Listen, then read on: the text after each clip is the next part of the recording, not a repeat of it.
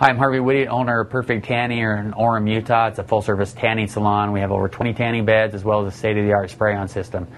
I often get asked, how do I get tan and how do I keep my tan long? Um, you know, the key is tanning is a process. Take it slow, build your tan base, use a good indoor tanning lotion.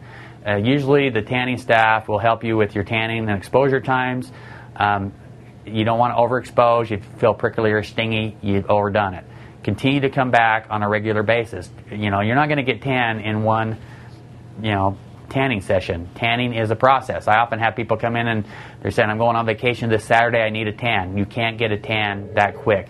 Tanning is a process, it takes a, a matter of time. To keep your tan too, moisturize. You know, you want to use a good indoor tanning lotion that's approved that doesn't harm the tanning acrylic.